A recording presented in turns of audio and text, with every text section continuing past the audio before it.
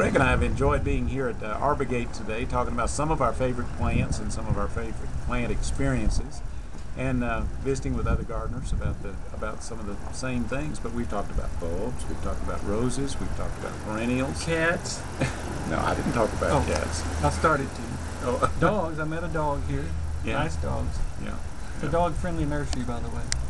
We uh, we were entertaining the enthusiastic crowd with tales of heirloom plants and a lot of things that we've rescued and found. And I don't think anybody stumbles across more plants than you and I do. I think uh, I think we've we've had our share. That's uh, interesting plants and even more interesting people. that's By interesting, sure. I mean crazy. Well, nuts, We are attracted. but good nuts. But like moths to a candle, they come to us from all over. But they always have cool plants, and we always come up with. They do, and we something we come up with they share. People like to share plants. Especially And old ladies like to share their plants with you. So well, we we share lots of plants with each other, and you have a and you have more. Well, you you have You throw a craven over them, they just you you have more to you you have more say, "Here, plants. take my plants." more plants than any elderly lady I've ever met. Did you say I have more elderly ladies than I have plants? Is that what you said? Something like that. Something like that. The good plants oftentimes come from older gardeners because they've seen things. They've seen all the fads. They've seen all the hot and cold and the, Absolutely. last drought and drought before that. And so uh, I remember Mr. Fanick one time when we were introducing Salvia greggii at Lone Star Growers said, let me tell you about the last time that Salvia greggii was in the nursery trade. And you're thinking, what? It's been in the trade before? Well, heck yeah, it's been around since the 1880s or so. So old gardeners and old gardens are great uh, sources, of not just plant material, but knowledge to, to go with them. Well, some of the things that you know, I just can't get over this John Fanick phlox, you know, that you that you have, and it's just, I, I, it's it's just really, really quite wonderful. It, it's more vigorous than any other phlox. It blooms in a time of year when few other things are blooming, and it Are you getting this? freely. Are we on? Just You're checking. on. And it's uh, it's I want to do this again, just making sure. it's uh, it's just a, a real keeper of a plant. It's uh, a lot of times you, you think when you find stuff that you're just going to see it in a bunch of other old gardens, but more times than not, you find out like a lot of the roses that you showed earlier.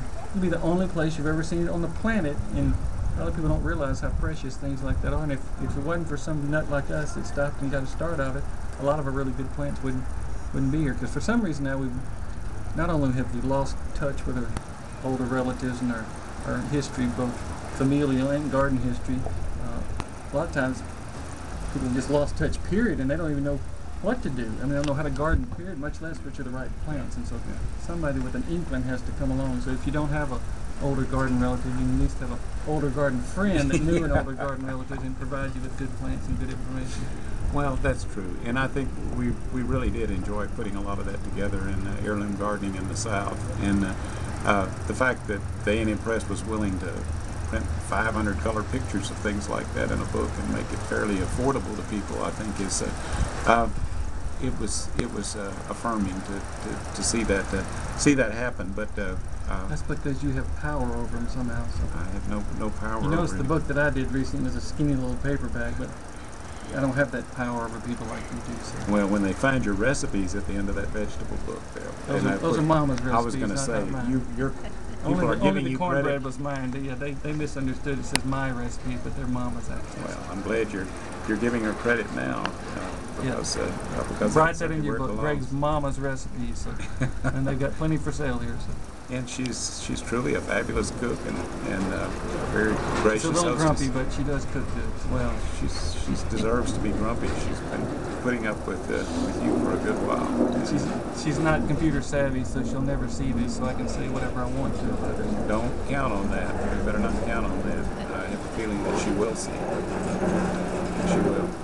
But anyway, uh, it's it's just always a pleasure to, uh, to be a to be a part of things that are going on around your house, and, and uh, the uh, gardens that you're creating are just really absolutely uh, wonderful, and they've got such a message for today's uh, today's gardeners because they're you know You hung on message like you were going to say messy, which is right nine times out of ten. So No, it's not. before you come, I'll get the messiness out of it. well, I put in a- a new herb garden yesterday, and they've got great herbs here at Arbor Gate. So you don't have an herb garden, you can create one right here today on the property. So Well- I've been, if you see missing leaves, it's because I've been scratching and sniffing everything over there for sale. Well, Beverly was talking about that. That, that uh, About me scratching and sniffing? Yeah, That is a little embarrassing. yeah.